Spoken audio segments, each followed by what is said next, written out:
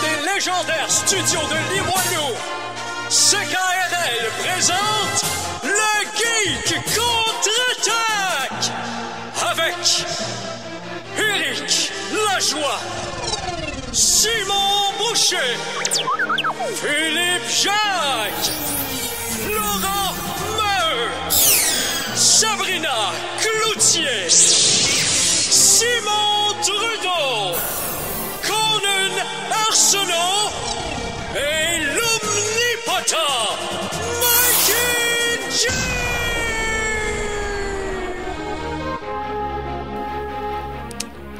Bienvenue à cette nouvelle édition des Geeks contre-attaque. Hey, alors nous sommes euh, samedi le 4 avril. Non seulement la fête de ma mère, mais aussi une journée sûrement importante pour euh, chacun d'entre vous, chers auditeurs. Mon nom est Éric Lajoie, j'anime ça jusqu'à ce que ça finisse. Mais je ne le ferai pas seul parce que j'y vais avec le line-up classique. Les trois premiers et les trois toujours là. Donc, Simon Boucher à la co-animation, salut! Oui, c'est pas vrai, je suis pas toujours là, mais oui, je suis toujours encore dans le line-up, oui, c'est Ah ça. oui, exactement, t'es toujours là depuis... Mais, mais, mais je manque beaucoup de semaines sans, si je Non, m'excuse. non, non, non, non, mais non, non, non. Vous me faites me sentir mal! C'est pas ça que je insinué. Eric, tu me brises le cœur! Encore. Donc, euh, et à la mise en onde, Mike G en personne. J'espère seulement ne pas sentir l'alcool au travers de l'aquarium, messieurs. Grosse soirée hier. Si tu veux pas sentir l'alcool, bouge-toi le nez. Mais, euh, Ah, c'est correct, moi ce matin, j'ai déjeuné avec une bière.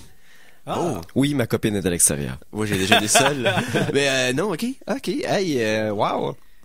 mais, mais, mais, mais je suis en forme, puis non, ça, ça va, ça va quand même. Je, je vois les pitons, ils sont tous là, puis ils sont corrects. Ouais. euh, Parce qu'il y a des trucs le fun qui se sont passés cette semaine. ben oui, entre autres, euh, C'est maintenant l'heure de vous informer.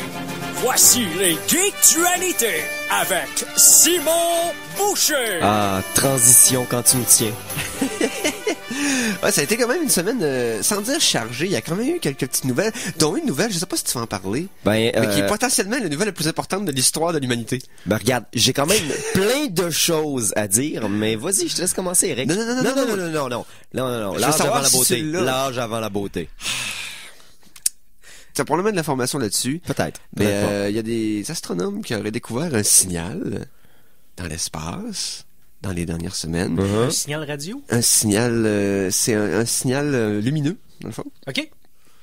qui se déclenche euh, pendant moins d'une seconde, mais dont les intervalles entre les fréquences sont mathématiquement réguliers. Euh, euh, ma- mathématiquement, comme euh, un, ça fait comme un langage. Ben, c'est un pattern. Dans le fond, C'est- comme ça. un pattern qui, selon eux, ça serait, c'est, ça peut plus être accidentel. C'est pas un phénomène euh, a- Mais un phénomène, astronomique. un phénomène naturel aurait pas une précision aussi. tu sais, Ce qu'on devrait dire, c'est que c'est possible que ce soit de source artificielle. Ouais, parce que fais attention quand tu parles de, de phénomènes naturels qui n'ont pas une précision, parce qu'il faut juste qu'on varie de légers degrés sur notre orbite, puis on est tous morts. Hein? Euh, non, Parce que effectivement. l'univers est d'une précision incalculable. Ce que je veux dire par là, c'est que dans le fond, il y a un pattern mathématique qui a été identifié à l'intérieur de ces signaux-là, qui et là, ils ont éliminé le pur hasard. OK? C'est Quoi, ils dans une une pièce, puis ils ont tiré dans la tête? Non, ce qu'ils ont fait, ils ont, essayé de plus hasard faire sa vie, mais ailleurs. Mais non, ce qui arrive, c'est que c'est ça, c'est que t'avais-tu des détails là-dessus là? J'avais aucun détail là-dessus, parce que moi, honnêtement, quand je vois ce signal de l'espace, à chaque fois, c'est quelque chose de décevant. Bon, ça y est.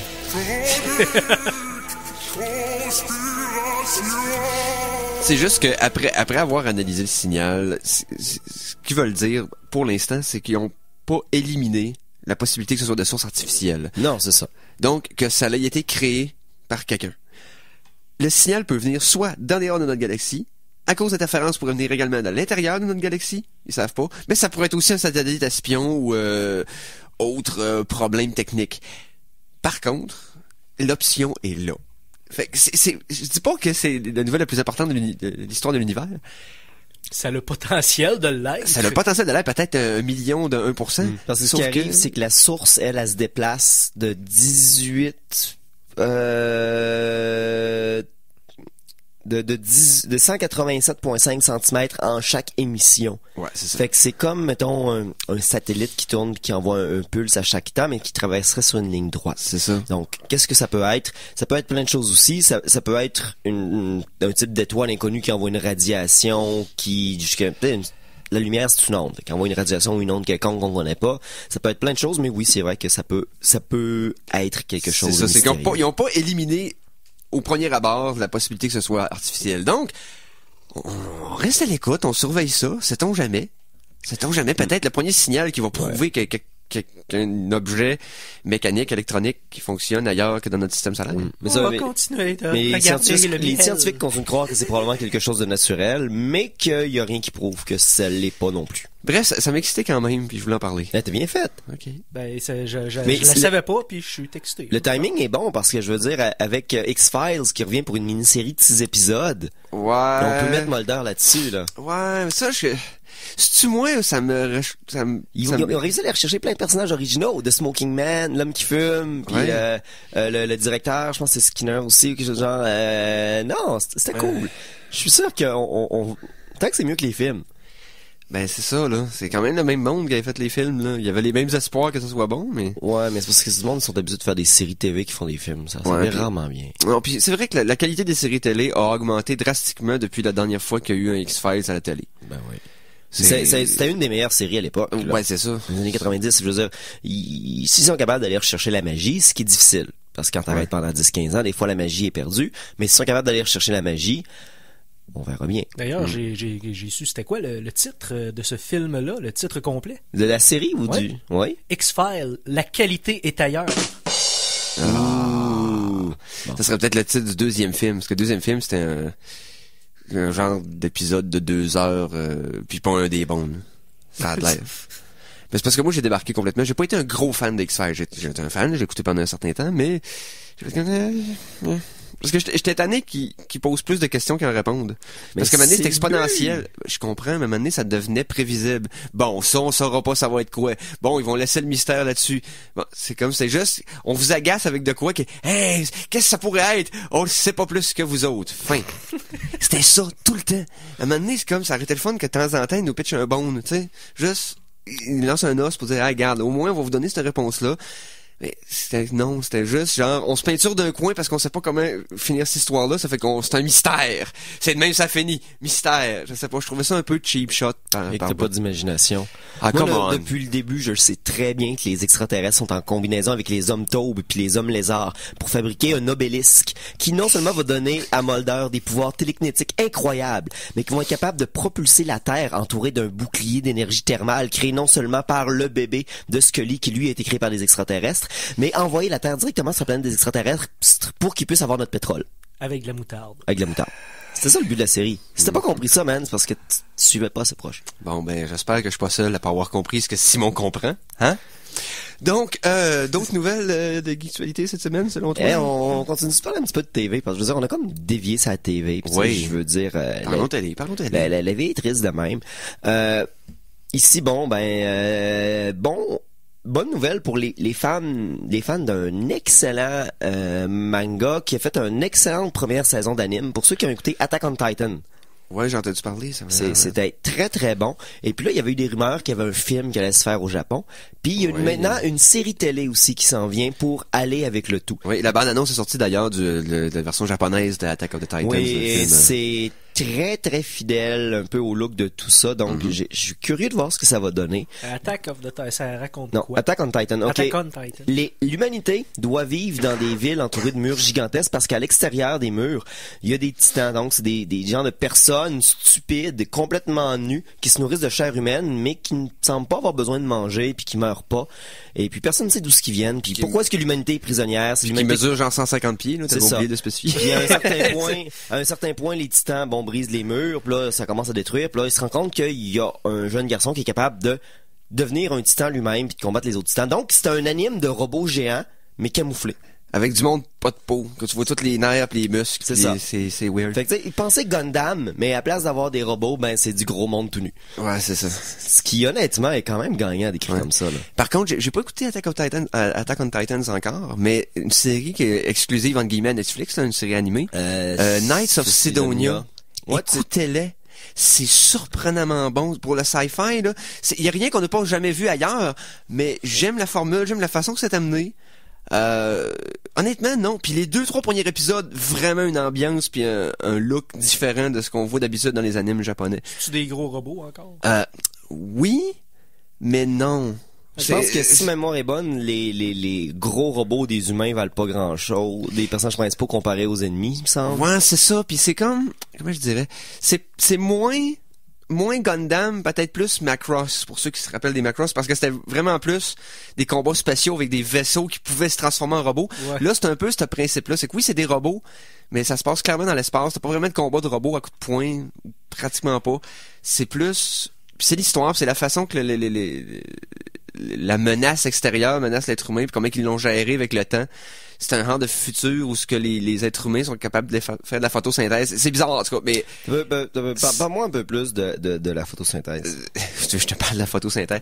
C'est que le synopsis est simple, c'est que dans le fond, t'as comme les êtres humains pour euh, survivre à un apocalypse ont comme sont mis à cloner des humains pour les protéger de, de- d'une certaine maladie ou je me souviens plus de quoi. Ça fait longtemps que j'ai pas.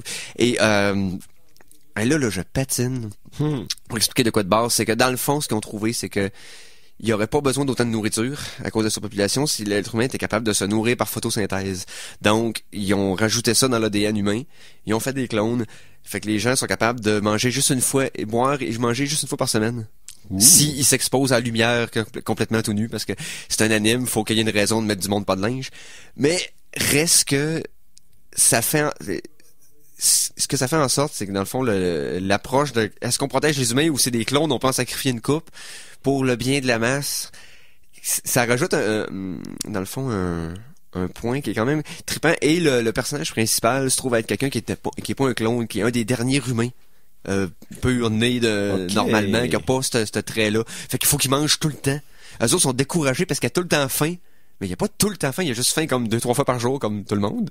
Mais dans cet univers-là, il est comme seul à avoir faim tout le temps. Il est vraiment comme désévolué Ouais. par rapport à... Mais non, honnêtement, non, la série est bonne. C'est c'est sur Netflix. La première saison est là au complet. Euh, c'est, c'est, c'est, moi, j'ai bien aimé ça. Mais parlant de ces catégories-là, euh, Oui. Sony ont, ont confirmé qu'ils sont en train de travailler sur une version de film, une série, un univers de film basé sur Robotech. Oh, hey, Donc hey! Macross ces choses-là. Donc tech, ouais. euh, ça s'en vient lentement. Le problème avec Robotech, c'est que c'était beaucoup de personnes qui possédaient les droits séparés. Puis c'est d'être capable d'avoir tout ce monde-là parce que tu peux avoir le droit du nom, mais pas avoir le droit des personnages, mais pas avoir le droit de- des designs des robots, puis pas avoir ça parce que c'est pas le même monde qui ont ces droits-là. fait que c'est un bordel impossible à gérer. Ouais. Mais une compagnie comme Sony Pictures, ça a de l'argent, ça a, c'est capable de casser des jambes. Fait qu'ils sont probablement capables de, de faire Ouais. quelque chose avec ça. Fait qu'on va vous tenir au courant. Surtout Sony Assurance. Ça l'air, c'est ça qui fait le plus d'argent avec Sony. on en a déjà parlé. Oui. Fait que oui, ils ont peut-être des matamors qui vont casser des bras pour récolter des primes. Ça se peut, ça? Oui. Puis là, ils vont dire, ben là, désolé, vous êtes pas couvert pour les matamors. Ouais, ah. Oh, C'est des assurances, tu veux pas qu'ils payent, là. C'est sûr. Mais quand même, là, tu veux pas que Sony fasse faillite avec leur compagnie d'assurance. on va-tu écouter une tonne? On va aller écouter une toune. Après ça, on reviendra, euh, on pourrait parler de Netflix, on pourrait Ben parler oui. encore de TV, puis on pourrait parler de parfum. Oh! La chanson de la semaine! Ouh, alors, première interlude musicale. Euh, je vais y aller avec une, une pièce d'un YouTuber, on va l'appeler comme ça, qui s'appelle E-Rock, qui a son euh, son canal sur YouTube, euh, qui reprend des, des, des tonnes de jeux vidéo, comme de films. E-Man, mais E-Rock. Non, c'est comme Eric avec un O Ah. au lieu d'un I. Ouais. C'est il rock.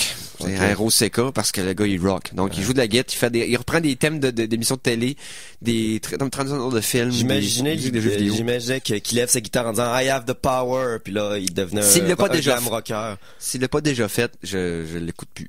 Donc euh, voilà. Donc E-Rock avec, euh, on va y aller avec, euh, on a déjà écouté une pièce de lui, on va y aller maintenant avec Sonic Meets Metal. C'est un medley des tonnes de Sonic, vous allez reconnaître.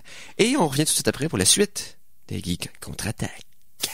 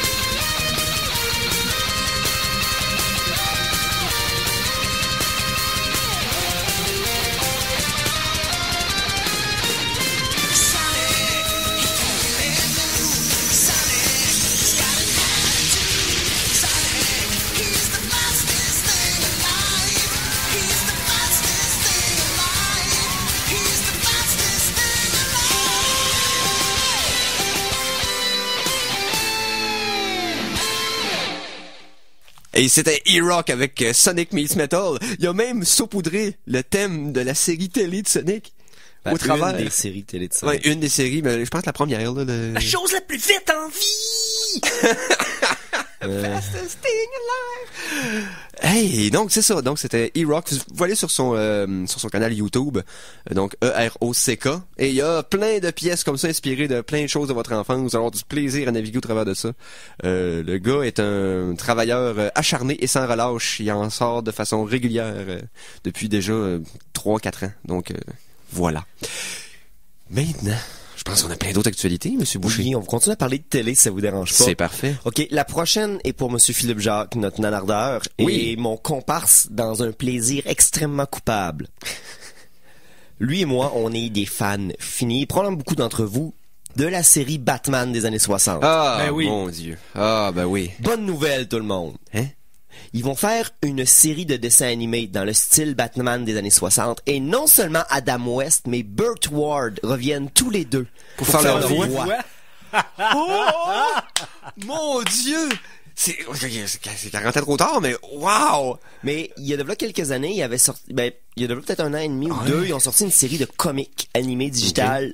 Batman 60, puis je pense que ça a eu un certain succès. Fait qu'ils vont ramener le, la série extrêmement campy, Wow. extrêmement Hey, ça peut être animé à la Archer, là, dans ce Ah, style-là, ce serait... Je veux dire, ça a le look parfait pour fitter avec ça. Ça Ah serait oui, écœurant. animé à la Archer, ce serait complètement délicieux. là. Oh, wow. Hey, oui, c'est une bonne nouvelle, ça va être- Donc, euh, attendez-vous pas ça en 2015, mais en 2016, euh, ça devrait être disponible sur un écran quelconque. Wow. Probablement l'écran sur votre réfrigérateur. Et en plus, Adam West a fait des voix dans Family Guy, donc il est pas étranger à, la, à cette C'est forme une d'art-là. bonne chose donc- parce que Burt Ward ne rentre plus dans aucun costume du Boy Wonder. non, non, il est... Là, c'est rendu de Doughboy Wonder. Ouais, c'est Oui. rendu le Oh boy wonder. ok, ensuite. Euh, oh, j'ai comme... Ah oui, euh, je peux vous faire un peu de tristesse? C'est-à-dire. Au début de la semaine, euh, il y a eu bon un, un événement qui s'appelle... Euh, dans le fond, c'est au début de la semaine, ça? Non, c'est la semaine précédente. Euh, on avait parlé un petit peu, mais euh, la- l'adaptation Netflix de Legend of Zelda, Ouais, c'était plus une rumeur. euh, Ouais, ben canular. Nintendo a confirmé que présentement ils ont des ils ont des projets de choses, mais ils peuvent confirmer que cette rumeur-là n'est pas vraie. Donc, s'il vous plaît, pour aller avec votre, votre euh, le, le repoussement de Zelda sur Wii U d'un an de plus, ben oubliez cette série-là. Puis mettez-vous en position fétale, achetez-vous des amiibo puis pleurez. Ouais, c'est ça, dans le sens que si je me fie à Nintendo, malheureusement, probablement qu'on verra jamais de séries télé ou de films sur la légende de Zelda, Link, etc. On dirait qu'ils veulent garder ça Mais il y a eu des dessins animés. Ouais, oui. Oh oui. Mais oui. Non, ils sont, sont pas complètement contre l'idée. Non, non, mais il y a eu des animés, mais je pense pas que ça les a encouragés à en faire d'autres. Ouais, mais il y a eu... Excuse... Non, non, excuse-toi pas, princesse, là. OK? Regarde. Ça n'a pas été une expérience qui, a dû lui, lui faire plaisir. Parce qu'ils ont mec- quasiment désavoué tout ce qui s'est passé avec le Capitaine N, puis euh, le Super Mario Brothers, le Super Show, puis euh, tout ça. Ça a comme disparu, puis il n'y a pas eu grand-chose par après. Puis le film de Super Mario, ils ont pas vraiment allumé à faire d'autres films non plus. Hein. non. C'est vrai, il n'y en a pas eu après, ouais. Non, Nintendo, c'est non. Mais Metroid n'a pas. Euh, tout ce qui est Nintendo, les... Non. Mais à un moment donné, je rêve au jour où tous ces euh, tous ces univers-là vont être up for grabs. Mais pourquoi que Nintendo aussi serait wise? Oh mon dieu, ok, là, là, là, on peut spéculer longtemps. Petite spéculation de ma part. Les univers euh, qui se croisent ensemble de Marvel dans les films, ça fonctionne, c'est prouvé. Euh, Nintendo a les droits de plusieurs personnages, de non seulement leur série, mais de séries connexes qui ont été sur Nintendo à cause de la franchise Smash Brothers. Pourquoi pas faire un dessin animé, exemple, de Smash Brothers, Oh, avec oh, toutes les franchises? Ils ont déjà difficile. les droits. Non, non, non, non. Non, Eric, tu comprends pas. Ils ont les droits pour leur apparence dans un jeu vidéo spécifique. Oui. Puis à chaque nouvelle itération, faut qu'ils refassent les droits. Donc, si tu pars d'un dessin animé, Sur c'est ce des jeu-là? C'est non. Mais c'est des nouveaux droits. Parce que les droits ont été donnés pour un jeu, pas pour une série télé. C'est extrêmement pointu. C'est la même chose avec Marvel. Ils ont des droits Ouais. de personnages sur les séries télé, mais pas sur les films et vice versa. Ouais. Donc, Mais- il faut qu'ils renégocient ces droits-là. C'est facile Le à négocier quand- faut que la compagnie dise, OK, je le veux, mais je veux que la voix de mon bonhomme soit faite par tel acteur. C'est comme nous, on veut pas tel acteur, il est trop Ouais, cher, on veut tel autre acteur. Ça va exploser en 20 minutes. Ça va être compliqué, là. Mais juste de faire une série sur leur propre personnage à eux. Ah oui, il pourrait. Mais ils ont, ils- ont commencé à déjà faire un gros mélange un peu incestueux avec les jeux qui maintenant qui supportent des amiibo un petit peu de n'importe quelle manière. Exemple, dans le, le, le Hero Warriors, tu peux avoir des costumes en utilisant des amiibo de Mario, Mhm. d'autres personnages. Ils ont commencé à entrecroiser les univers. Mais jusqu'à quel point qu'ils vont le faire, je sais pas. Parce que un- une bonne série d'animation, ça pourrait vraiment être cool, mais euh, je sais pas, Nintendo, sont- ils font d'autres choses. Ils ont besoin de faire un, un, un, un move qui... Mais- C'est ça. Mais Nintendo a quand même fait une gigantesque série d'animation. Pokémon.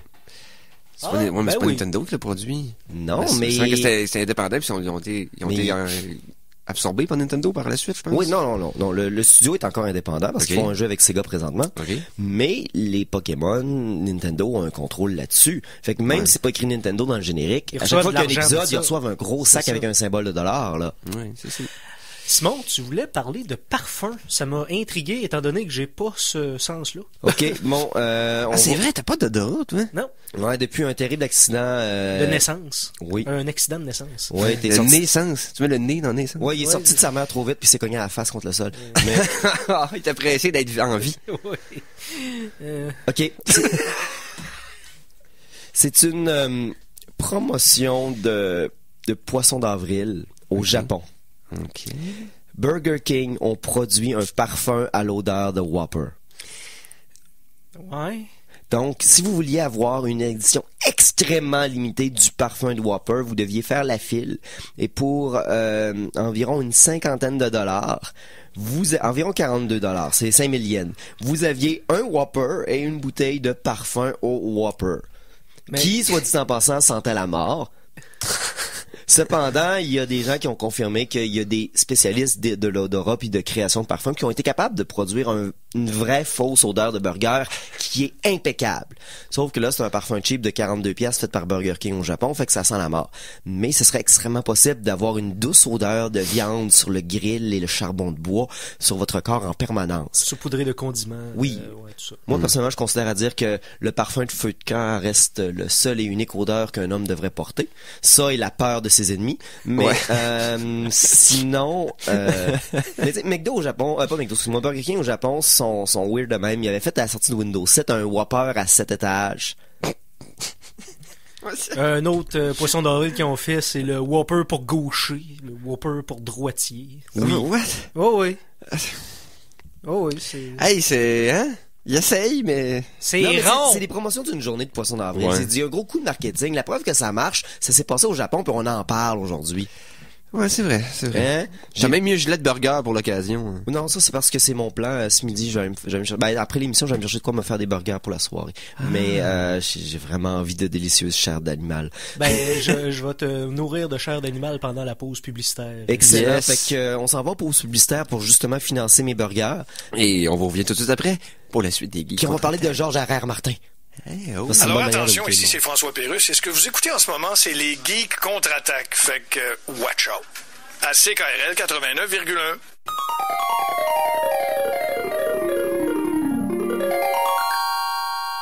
De retour de la pause, revoici les geeks contre-attaque! Et nous sommes de retour pour une deuxième demi- demi-heure des geeks. Ça va? Ben oui. OK? Ah non, non, c'est- c'était juste, je pensais... euh, je pensais que je vais avoir un petit quelque chose pour vous euh, la semaine prochaine. Là, je vais enregistrer ça, je vais mettre ça dans ma machine. Yes. Vous allez voir, ça va être euh, ça, ça va être utile et ludique. Bon. Yes. Donc, hey, en passant, juste un petit message comme ça, vous l'avez entendu dans le pub quand même, mais euh, hey, merci pour le radioton. On en a parlé dans les semaines d'avant euh, à l'émission, puis euh, ça a été encore un succès cette année. hein. Ouais, une fois de plus, ils sont pas obligés de nous remplacer par une perruche qui donne des coups de bec sur un soundboard. Parce un que oiseau qui boit de l'eau. Ouais, c'est un peu le même principe. Ah, ok. Ou, une, euh, ou, euh, une, une, une poule avec un bâton. Ouais, parce qu'avant, c'était Mikey Cheap. Chip, chip, chip, Chip, chip, chip, chip, chip, chip, chip. Qui chip. Ok. Bon, Simon? Oui.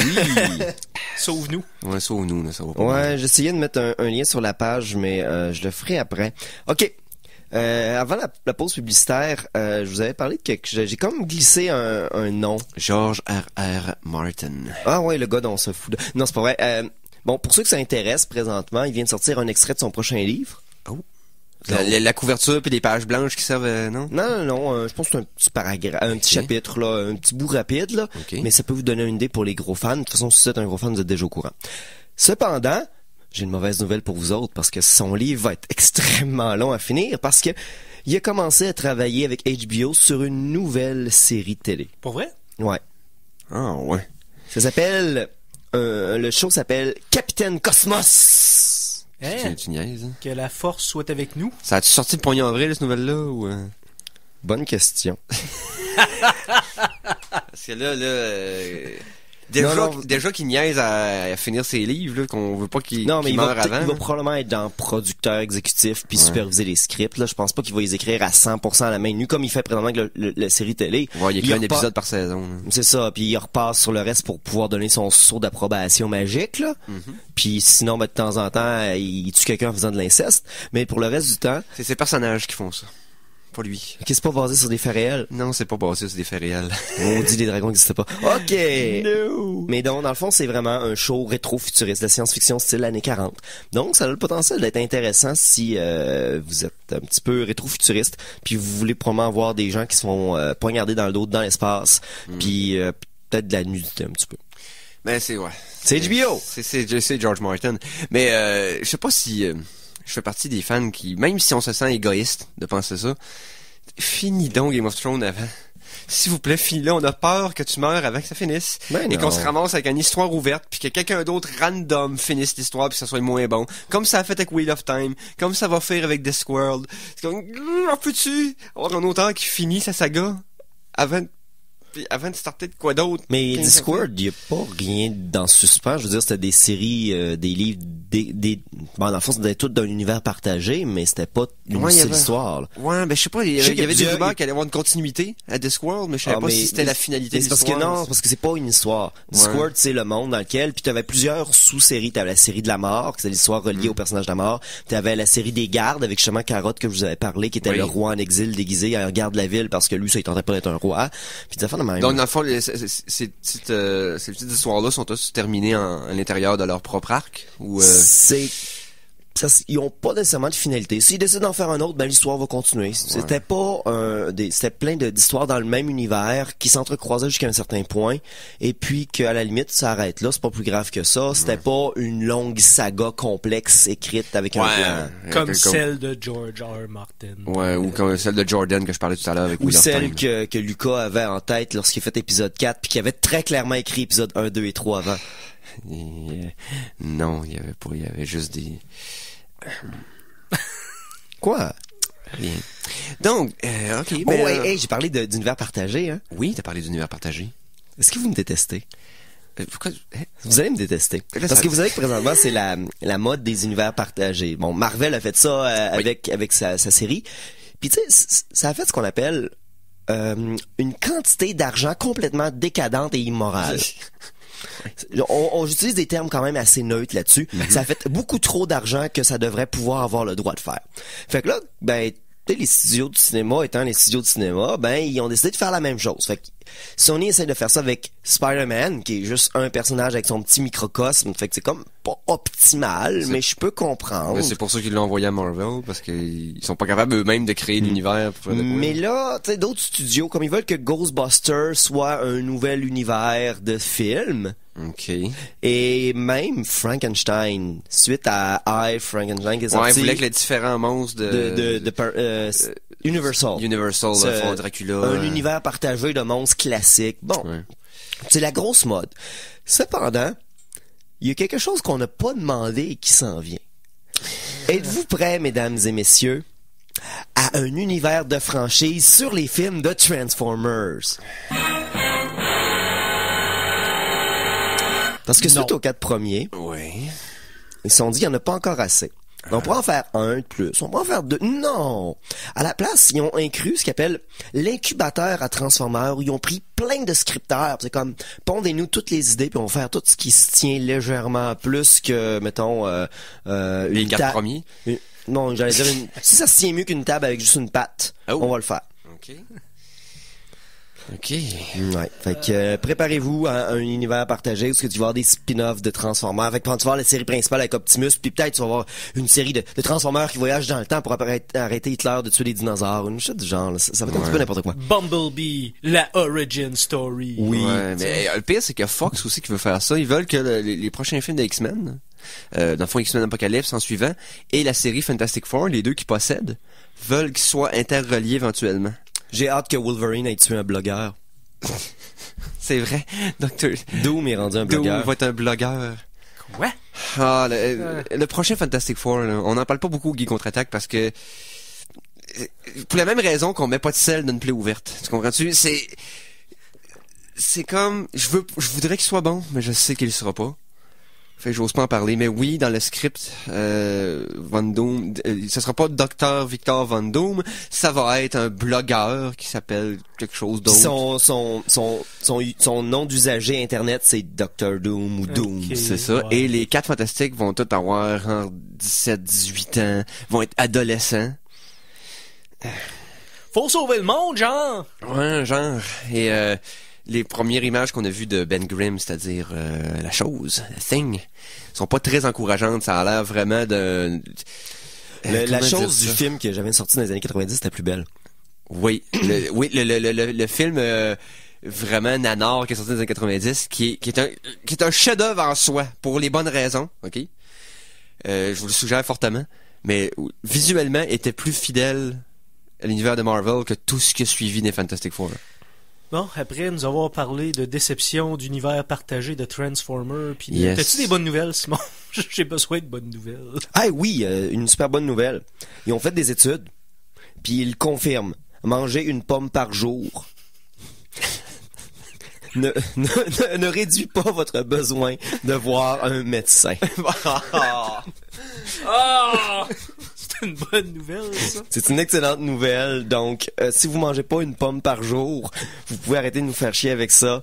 Ouais, ça c'est. mais Y a une expression française équivalente à celle en anglais? Ben, en français, c'est une pomme par jour éloigne le docteur C'est pour toujours. Toujours. Ok, c'est vrai Oh, parce oui. qu'en anglais c'est Apple a day, euh, keep the doctor's C'est away. la même affaire. Je, je, je, je me rappelais pas qu'il y en avait une en, en français, mais oui, c'est vrai. La, la langue France, la langue française, Eric, est un univers très riche. Ouais, c'est vrai. De temps en temps, tu iras l'explorer. Ah, je fais, je fais des efforts, ok? Hey, est-ce que vous- moi j'ai une, autre super bonne nouvelle, Mikey. On Ah. va rester dans l'alimentaire. OK? Je suis un gigantesque fan euh, de la machine SodaStream. Hey, t'as raison, c'est une bonne nouvelle. Ok. Autre chose? Ah, c'est la, machine, dans le fond, qui euh, fait en sorte que tu peux gazéifier De n'importe l'eau. quel Tu peux de non, tu peux juste gazéifier de l'eau. Puis après ça, t'as des sirops que tu peux mettre dans ton eau pour faire des sodas, des jus gazéifiés. Tu peux pas gazéifier du lait, là. Non, mais jusqu'à maintenant, Oh! ils sont en train de sortir une nouvelle machine. Ok, c'est du haut de gamme. Celle-là est contrôlable par cellulaire, par Bluetooth, avec une interface, mettons, pour des réglages, des choses comme ça. Mais elle peut gazéifier n'importe quoi. Et par n'importe quoi, on inclut du lait et on inclut surtout des alcools. Imaginez de la vodka pétillante. Oh! Ah, là, là, ça, c'est des, Vos enfants en raffolent. c'est Donc- des potentiels illimités? est illimité parce que c'est ça c'était le seul problème de la SodaStream vous gazéifiez uniquement de l'eau parce que tout le monde a essayé avec un jus ou quelque chose et c'est un dégât automatique. Tu fais t'as Ok, t'as ça- du jus partout à 100 mètres autour de toi. C'est horrible. J'ai ma machine qui est encore collante de limonade. T'avais assez que de la limonade? ben oui, Ben ça me semblait comme une bonne idée sur le coup Ah ouais? mais je l'ai regretté amèrement Tu mets du mélange à limonade dans de l'eau gazéifiée, ça ferait pareil, non? ouais mais j'achète pas ces mélanges là parce que c'est plein de mauvais sucre puis de, de choses du genre c'est dégueulasse là Ok. non non j'ai acheté cette machine là pour arrêter de boire de la liqueur fait que je boirai pas des choses qui sont pires que de la liqueur Fair enough. Ouais. Fait que non, fait que avec ces machines-là, est pas faite pour le public en général. Le, le but, vraiment, les bars pis ces choses-là. Mais à moyen terme, vous allez pouvoir avoir vous aussi votre machine puis vous faire mettons des euh, des des des black des white russian gazéifiés Oh. ou des martinis pétillants ou vous simplement prendre des vins blancs puis vous faire de la champagnette puis dire ah ah prends ça dans la gueule SAQ arrête de me voler et voilà Wow. Ben, écoute c'est... Hein? Ouais, Votre- c'est une Du blanc mangé pétillant, non? oui C'est-tu liquide? ça, tu, du blanc? la Ben, c'est- pâte à c'est- crêpes pétillante? Avant même que ça cuise. Ouais. du, du pablum pétillant, euh, du lait maternisé pétillant. Tu sais, les, les, les, les possibilités sont du sang pétillant. Ah. Tu sais, les possibilités sont infinies. Honnêtement, il y a que votre... Là, ici, on pourrait aller dans plein d'autres liquides que humains que je parlerai pas de. La De l'encre. T'écris pis ça pétille. Ben oui. La, la- la chanson pétillante, les gars, la chanson. La chanson de la semaine Merci, Mikey. Ça fait plaisir. Très apprécié. On était parti dans nos potentiels de pétillantes euh, illimités. Donc, petite interlude euh, musicale numéro 2. Et là, je vais faire euh, une petite parenthèse. J'ai vu cette semaine, après tout le monde, comme d'habitude, Interstellaire. On en avait parlé à l'émission. Euh, il y avait eu une critique euh, en détail par euh, notre euh, Conan Arsenault euh, à nous autres. Ben oui. Notre barbare de salon. Ouais, c'est ça. Notre Conan à nous. Donc, euh, ah, ça sonne bien ça. Donc, Je pense à toi, Conan. Avec ton glaive et ton corps glab, Conan. Bon, Conan. Donc, c'est correct, on va en revenir de Conan. Euh, donc, il avait fait une critique et il avait parlé à ce moment-là qu'il y avait peut-être que le film était très visuellement était, sensationnel et tout ça, le, le son et tout, mais qu'il y avait peut-être un message un peu quétaine et cucu par rapport à ce que l'amour peut faire. J'ai écouté le film et j'avais une certaine appréhension par rapport à ça. J'avais des réserves. Bon. J'écoute le film. Finalement, le, le côté de l'amour, pour ceux qui, étaient- qui avaient peur que ce soit le, le film devienne cucu, non. Oui, ça fait partie des des éléments qui sont importants dans le développement de l'histoire, mais c'est vraiment pas l'essentiel de l'histoire. C'est que c'est plus, ça va plus loin que ça. Le film, je l'ai trouvé sensationnel. J'ai adoré ce film-là. Euh, musicalement, c'est à tomber en bas de sa chaise. Hans Zimmer, encore une fois, participe avec euh, Christopher Nolan pour un de ses films. Va complètement ailleurs cette fois-ci. Je vous fais écouter une pièce, dans le fond, de tirée de la trame sonore d'Interstellaire. On va entendre euh, Cornfield Chase. Ça. Bien ça, dans le fond. Et euh, écoutez, le- la musique de ce film-là est, sans- est- est. Écoutez, écoutez ça en Blu-ray avec des écouteurs. Et vous allez être euh, ou un bon cinéma maison, puis vous allez être flabbergasté, pour ne pas dire un terme équivalent en français, parce que j'essaie de faire des efforts. Donc, Cornfield Chase, Hans Zimmer, de la trame sonore d'Interstellaire, on vous revient tout de suite après. Ok, contre-attaque. Conan.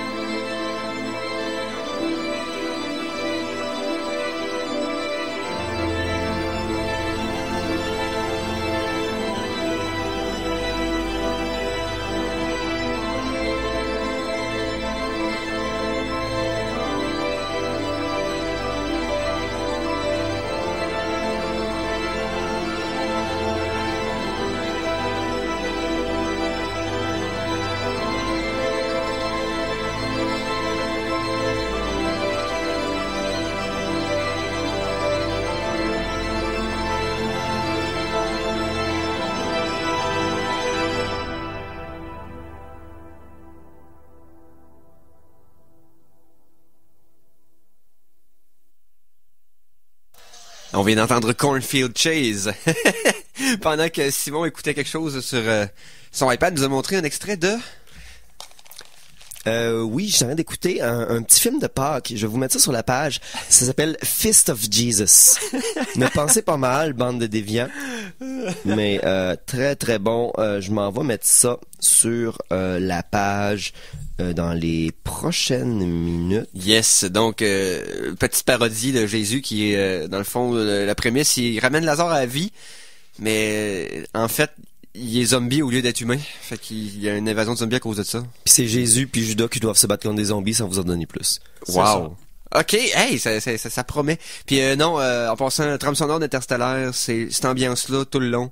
Euh, hautement recommandé. Puis le film aussi, regarde, j'ai vraiment adoré ça. Puis Nolan n'a pas encore droppé à la balle, selon moi. Il a pas encore euh, échappé le ballon. Je vous dirais encore un bon, euh, bon, un bon film. Euh, Ben, ad- ben aimé ça. Oui.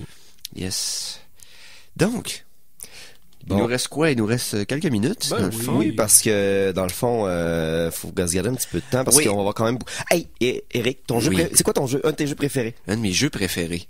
Euh, Puis c'est mon jeu préféré aussi, puis on a tout mis trop d'heures dans ce jeu-là. euh, Binding of Isaac, FTL. euh, Binding of Isaac. Oui. Binding of Bonne nouvelle, gang. Euh, pour ceux qui l'avaient pas joué, euh, le jeu, il était présentement, bon, la version remasterisée là euh, était sur PC et PS4. Il s'en vient sur Wii U, sur Xbox One, ainsi que sur le 3DS. Mais la nouvelle 3DS, pas la 3DS régulière, parce que Nintendo sont pas capables de nommer leurs produits comme du monde.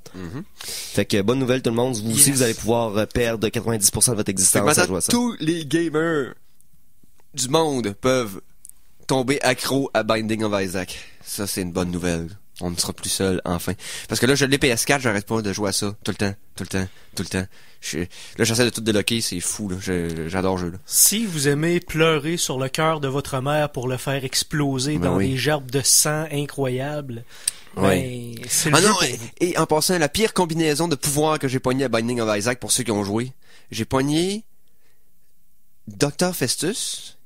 Qui, qui transforme tes larmes en bombes. C'est ça, que tu garages des bombes. Et les, les, les boomerang bullets. Donc, que tes balles reviennent vers toi quand t'es tires. Fait que des, des bombes boomerang, c'est pas... euh, ça a comme mis fin à, ma- ma ta quête. vie assez rapidement. hein. Assez rapidement. Parce que je courais, j'essayais de me sauver de mes propres projectiles. C'était fascinant. Bref. euh, ah, et en passant, la semaine prochaine, on prépare quelque chose. On sait pas à quel degré on, va, on va faire notre projet. On sait juste que vendredi prochain, Oui, c'est important que vous le sachiez, gang. sur Netflix, sort au complet la première saison de Daredevil. Les critiques sont écœurantes. Le Euh, dard de ville. Oui, le Le Daredevil. dard de ville et le dard des champs. Le City Sting, en fait.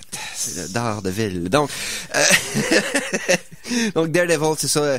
euh, beaucoup de, de, de, de- de commentaires positifs, non seulement sur le casting, mais sur ceux qui ont vu des épisodes en... en- Les, présentement, il y a un genre de, de fin d'embargo. Il y a plusieurs euh, médias qui ont vu les cinq premiers épisodes. Et les commentaires sont que si c'est la version du l'univers cinématique de Marvel en série télé, ça le surpasse. OK. C'est à ce point-là. Et, puis pour ceux qui le suivent, euh, les agents du Shield, qui, que la deuxième saison est repris depuis un mois, euh, et c'est écœurant depuis que c'est recommencé. Euh, Marvel, je veux dire, commence à manquer de balles à sortir du stade tellement qui tout ce qui frappe est un circuit depuis quelque temps. On se demande, faudrait peut-être faire un pool au Geek contre-attaque. Quel sera le premier échec de Marvel?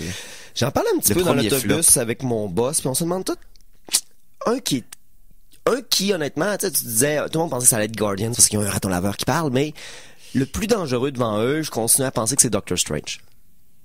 T'as pas tort. À cause du fait que c'est pas scientifique du tout là. C'est ça, euh, puis sais, il, il est dangereux parce que le sorcier suprême est quand même des pouvoirs qui sont un peu abusifs.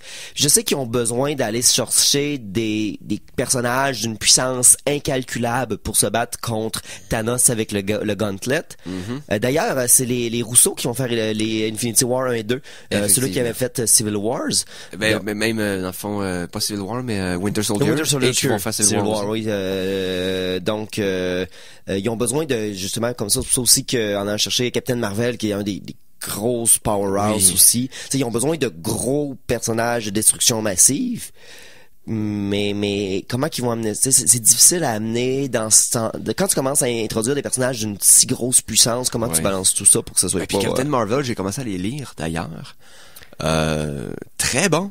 Je, je suis étonné. La plupart des, des nouvelles séries de Marvel qui ont sorti les, dernières, des derniers mois, et spécifiquement le mouvement de l'année dernière pour amener beaucoup plus de super-héroïnes avec des, des, euh, des histoires vraiment uniques, bien ficelées, bien écrites, euh, ça marche. Miss Marvel, c'est très bon. Captain Marvel, très bon. Euh, la, nouvelle série de Guardian était 40. honnêtement, je, je suis accroché vraiment Il y a eu au service des, de Marvel euh. Il y a eu des fuites sur le prochain, parce que là, il y a un gros événement, le Battle World, qui va détruire, euh, dans le fond, qui va permettre d'avoir, mettons, les, les univers Ultimate parallèles dans tout dans le même univers. Mm-hmm. Et puis, euh, une des rumeurs, c'est la prochaine euh, ligne des Avengers. Et puis, c'est Madame Thor, Spider-Man Miles Morales, Oui. euh, dans le fond, Miss, Miss Marvel, Marvel. euh, c'est le Falcon qui est devenu Capitaine America. Euh, Oui, il y a une image, puis il y a comme pas aucun white male dans tout. Euh, Iron Man, qui a des rumeurs que c'était euh, peut-être... euh, Iron Man, je pense que c'est Iron Man, Iron Man. Il y a des chances que ce soit Rescue, dans le fond, Pepper Ouais. Potts avec son armure, mais c'est c'est c'est quand même de fortes chances que ce soit quand même Iron Man, Iron ça, Man. il y, a- il y a une couverture qui avait été leakée sur Internet. Donc, ce qui s'amène dans l'univers de Marvel est vraiment intéressant. J'ai hâte de voir comment ça va se, ça va se transposer dans les films éventuellement. Mais pour moi, mon call pour le premier flop éventuel, Vas-y. Possiblement Ant-Man. Je veux qu'il soit bon. Je veux qu'il soit bon. Euh, Prenez-moi pas... euh, euh, je veux qu'il soit bon, là. Mais... J'ai peur qu'il soit pas. Mais encore là. Parce que là, il colle les deux prochains films de la phase 3, les deux premiers films de la phase 3. C'est Ant-Man et Doctor Strange. Donc, t'as pas de super-héros connu deux fois en ligne. Après ça, t'as Captain America euh, Civil War. Donc- non, ça va bien aller. Ça va bien aller? Non, euh, je je crois en rien. Ou Black Panther. Je serais, je peut-être inquiet pour celui-là aussi. Pourtant, euh, s'ils ont, quelque, ils ont du matériel cool à aller chercher, c'est Black Panther. Ouais, c'est vrai.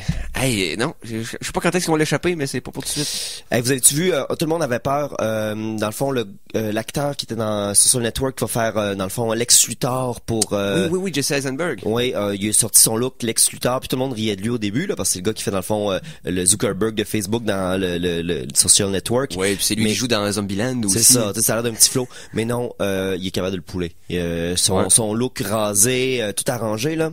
Non, euh, j'ai pas confiance au film, mais il va être capable de faire... Que- Le problème, c'est pas lui en Lex Luthor, c'est un problème avec le film. Ouais, c'est ça, parce que c'est Zack Snyder. Donc, visuellement, ça va être sa coche. Côté script... euh, Il va avoir ben, ben, ben, ben, ben des plans au ralenti, des Ouais. caps. C'est ça. En tout cas, Mais auditivement, ce qui va être sa coche, ça va être Brice. Non, non, Oui. ça, va être au-delà de la coche. Ça va ouais. être au-delà de la coche avec sa musique zouk, tout feu, tout flamme qui s'en vient tout seul près de nous. Yes. Yep. Et donc, on finit un petit peu plus tôt parce qu'il y a plus de pubs ces temps-ci. Vous comprendrez que c'est ça. Donc, euh, hey, merci.